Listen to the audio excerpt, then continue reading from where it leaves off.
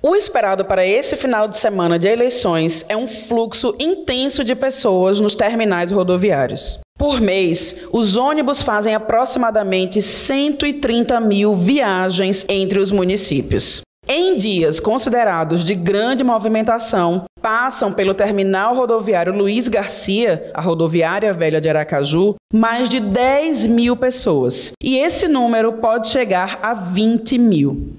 Na quinta-feira, já era possível notar o início de uma movimentação. Boa parte das pessoas que viajam neste final de semana buscam cumprir o dever de votar no primeiro turno da eleição, além de aproveitar para rever parentes e realizar outras atividades. Eu vou vestindo de dores, eu vou trabalhar, sou técnico socorrista, tenho um plantão lá no final de semana e vou voltar e ver alguns amigos que eu tenho tempo que não vejo, entendeu?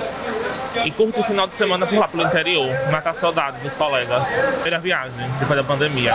Moro em São Cristóvão, estou indo para Brejo Grande votar e aproveitar a oportunidade e matar saudade da minha família. Eu não vejo a minha família desde janeiro, porque fiquei impossibilitada de ver minha família por causa da pandemia. Além disso, as viagens intermunicipais de rotina continuam sendo realizadas. Marinalva de Andrade, que mora na Serra do Machado, esteve essa semana em Aracaju para uma consulta médica. Eu vim ao médico no, no HU, aí Tô de volta, eu tô, eu tô esperando o ônibus para voltar de ônibus. A gente só espera o ônibus chegar para pegar o transporte. Para dar conta desse fluxo, a partir da sexta, o Estado aumenta a frota em circulação do transporte intermunicipal. Mais 60 ônibus com capacidade entre 32 e 40 lugares passam a rodar até a segunda-feira. Alguns municípios, como Nossa Senhora da Glória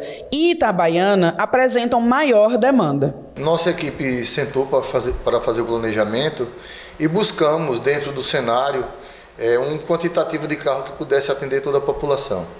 Nós colocaremos 60 carros extras da capital para o interior, né, para atender todo o estado de Sergipe. E faremos também é, uma fiscalização ostensiva. Teremos os principais terminais, os fiscais do estado e duas equipes volantes trabalhando em todo o território. Os maiores fluxos ainda é o município de Lagarto, Nossa Senhora da Glória, Estância e Itabaiana em Propriar. Hoje a maior distância que nós temos hoje em, em, em viagem é mais ou menos Canindé do São Francisco, 200 km. Uhum. E ela está justamente 127 km dentro de um circo de várias cidades ali.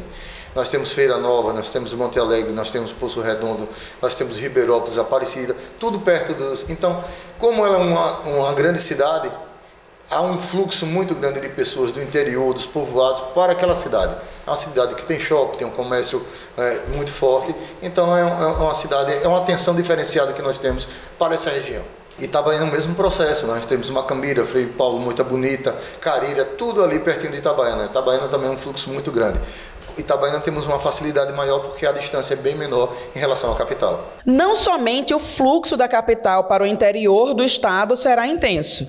De acordo com o diretor da Sedurbes, também se espera a chegada de uma grande quantidade de pessoas a Aracaju. Nós temos uma, uma estatística interessante. Né? Na sexta-feira que antecede as eleições, o fluxo ele dobra a partir do período da tarde. E quando chega aos sábados, a partir do período da tarde, ele aumenta mais 50%. Nós chegamos a ter, no dia de fluxo desse de eleição, 20 mil pessoas, até 20 mil pessoas passando no TLG, no Terminal Luiz Garcia. Então é um fluxo muito grande. Outra, outra coisa interessante que nós estamos acompanhando no cenário de transporte, muitas pessoas moram no interior e ainda voltam na capital, porque também nós temos hoje no interior do estado órgãos públicos, né, órgãos federais, pessoas que realmente trabalham no, no, interior e preferem morar lá. Então, na verdade, há, um, há uma vinda dessas pessoas à capital e há um retorno ao interior. Tanto indo quanto voltando, o fluxo realmente é latente. Para viajar, as pessoas devem atentar às regras sanitárias adequadas à pandemia, ou seja, é necessário o uso de máscaras e também será obrigatória a higienização das mãos com álcool. Para reclamações em relação ao serviço, os usuários podem ligar para a Ouvidoria do Estado no número 3198 5331.